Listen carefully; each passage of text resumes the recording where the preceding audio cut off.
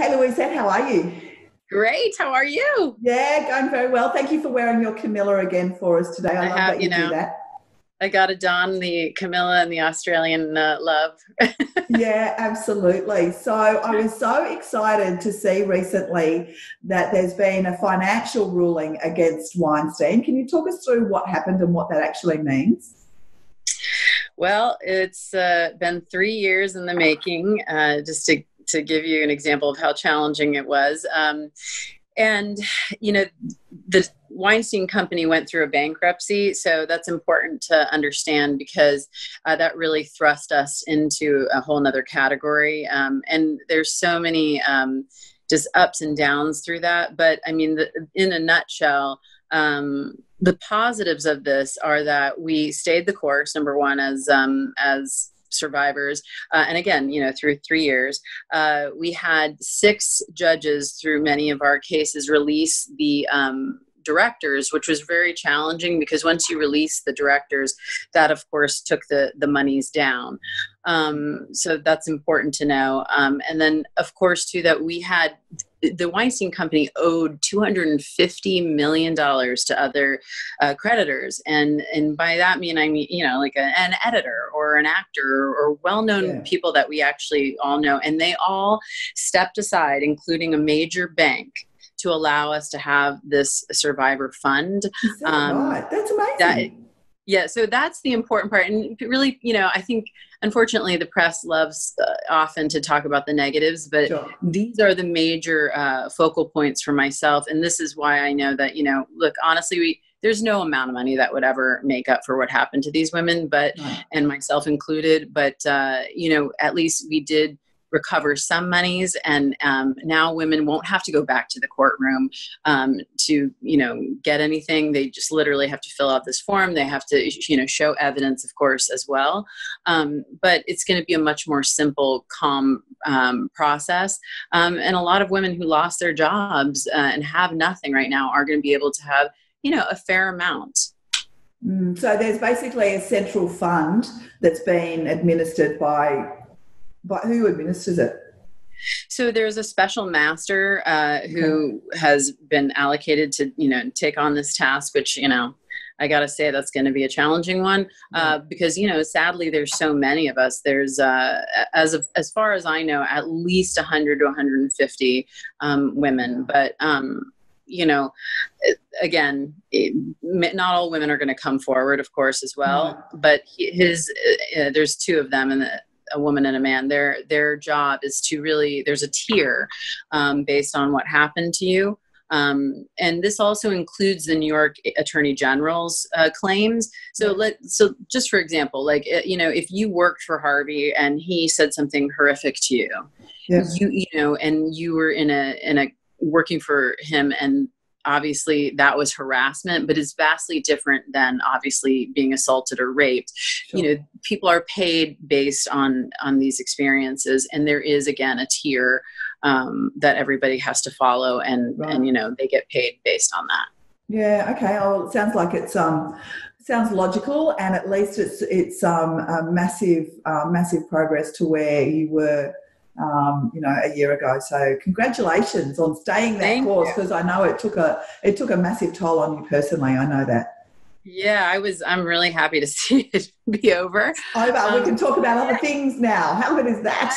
I, can have fun. Uh, yeah. but I you know what is great about it is like just seriously because we work in real estate right so i mean right. just the fact that i was able to talk to there's a, a, ma- a woman who runs a major bank here a very well-known bank here who you know i we were literally negotiating in the hallways about this because if she and her and her company bank did not step aside to allow this fund to go through we we literally would have nothing right now. Yeah, right. So it, that's an that's people don't really talk about that, but that's really the case. There's a lot of people who did a wonderful thing, and again, people who are owed 250 million dollars. That's a lot of people um, who you know said, you know what, we understand what transpired, so we're willing to step aside. You know, they're going to recoup a certain amount of money based on many other things, but they were allowed to.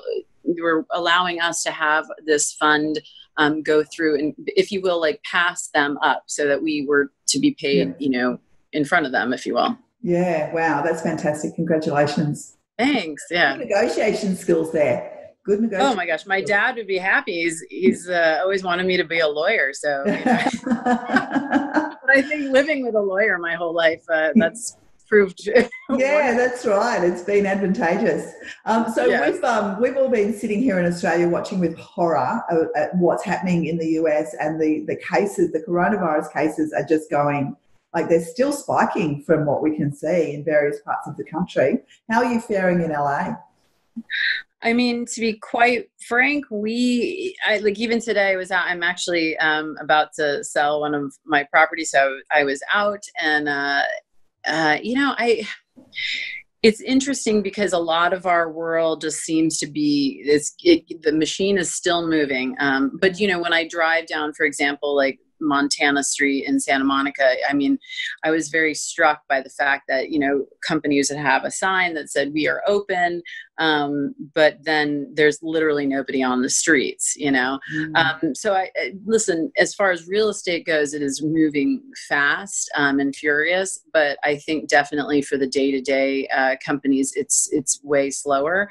Um, and I, for the most part, I've seen people being respectful by wearing masks. Um, you know, that being said, I'm not going to any like college ragers, so you know I, understand that I might be not the demographic to ask uh, about that. Totally. But, so t- tell me, real, the real estate. So the real estate market's going strong. Uh, yeah, for it's definitely a seller's market right now.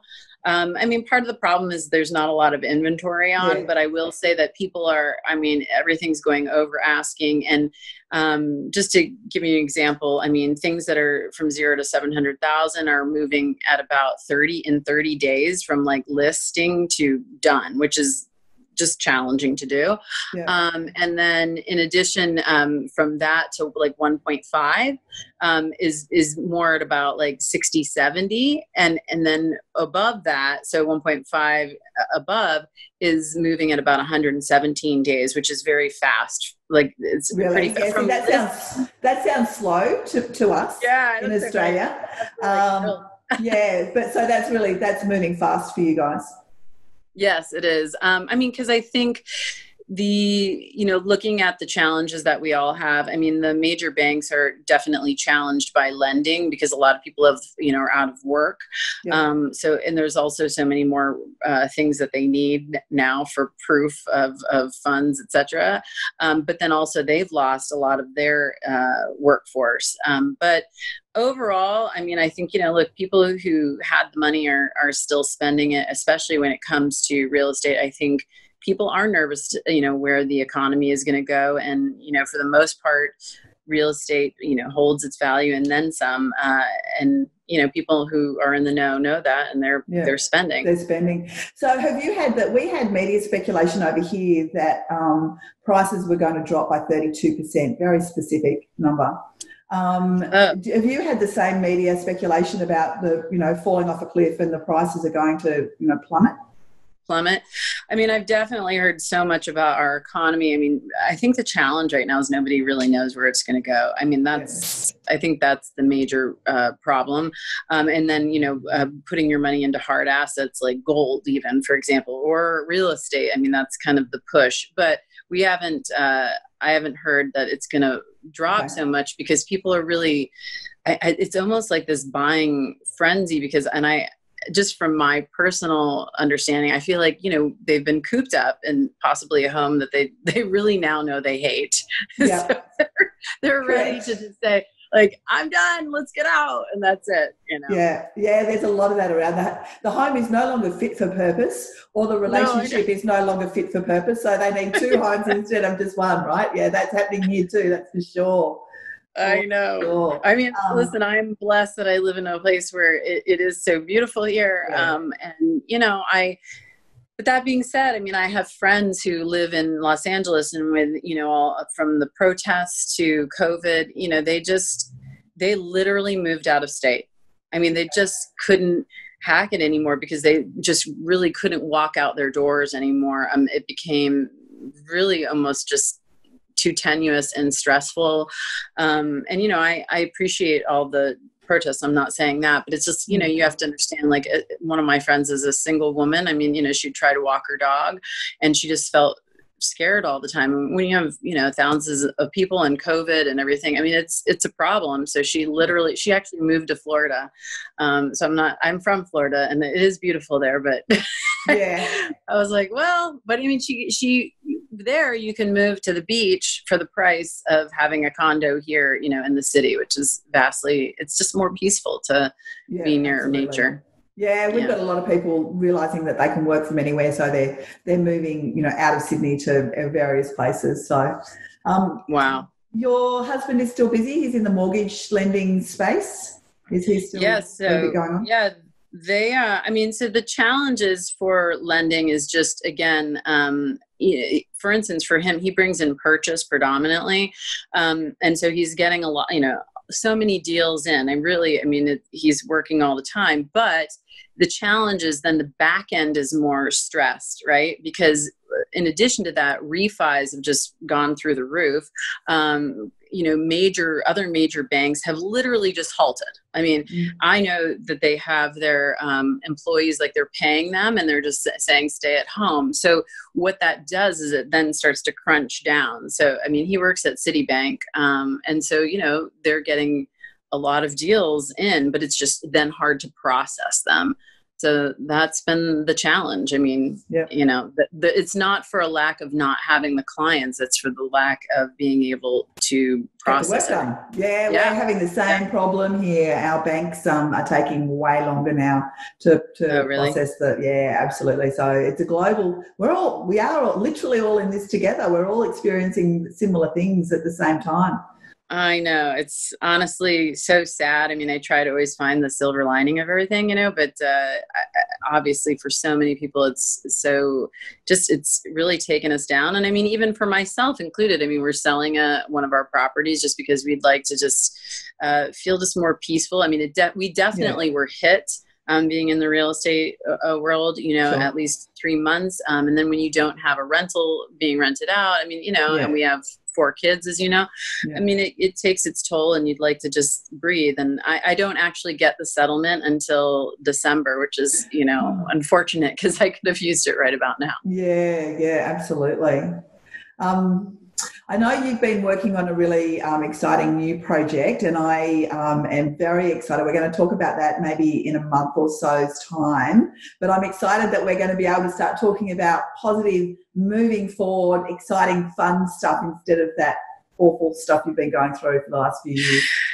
Well, so I used to listen to Wayne Dyer. I don't know if you've ever heard oh, yeah, of him, but yeah, yeah, he's a motivational speaker. Yeah. And um, you know, it's funny because a million years ago, somebody gave me this CD, and uh, I I still have my 2003 Lexus because God bless them, they last forever and they are so beautiful. Um, but it has a CD, you know, component. no, I don't have the fancy new one, and uh, so uh, that CD is in my car. Right. So going through all of these the last three years, you know, it would just pop up every now and then. Um, and listening to many of the um, survivor stories, I mean, they are just so hard and it takes its toll. And being the lead of this class action, uh, you know, obviously takes its toll. Um, but Wayne Dyer says when you change the way you look at things, the things you look at change. So that was, that really just stuck with me. And I thought, you know, I really would like for once to look at this experience which obviously is a negative but in a you know with with a different set of glasses you know some rose colored glasses uh, for once and so basically yes uh, that's what we will discuss the next time because yeah. it is an actually wonderful project and miraculously has gone um, very well um, so you know godspeed made it made it all happen i mean even through covid it's still moving so i yeah. feel like I've done it's, something right. it's, meant, it's meant to be. It is meant to be. I can't wait to be able to share that. oh everybody. my gosh. I yeah. couldn't believe when COVID how I thought, are you kidding me right now? Like, you know, I mean, I suffered the, you know, the arrows, if you will, of all these predators being in the movie business for 20 years. Yeah. Um, and then, you know, to find like it, literally we had a big reading and everybody, like we had all these producers wanting to jump on and, and then two weeks later was COVID. So anyways, but you know what is what do you do?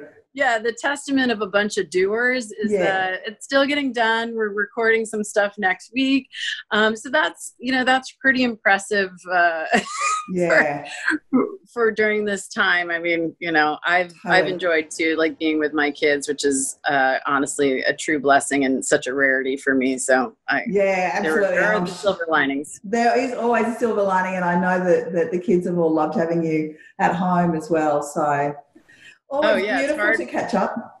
yeah you too i love seeing you and um, i mean may i see you in real life soon Oh, I hope so. I'm not sure. I think it's going to be a while before I'm allowed to come to you. That's for sure.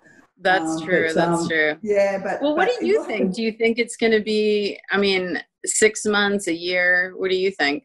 Um, I, I don't think that there'll be any over, overseas travel for Australians this year, um, unless it Right. might be um, maybe maybe we'll be able to go to New Zealand um, or a couple of places like that. But other than that, um, I, I reckon it's going to be a year before we're allowed to go to the US. It may even be longer. Um, it just depends on what happens over there.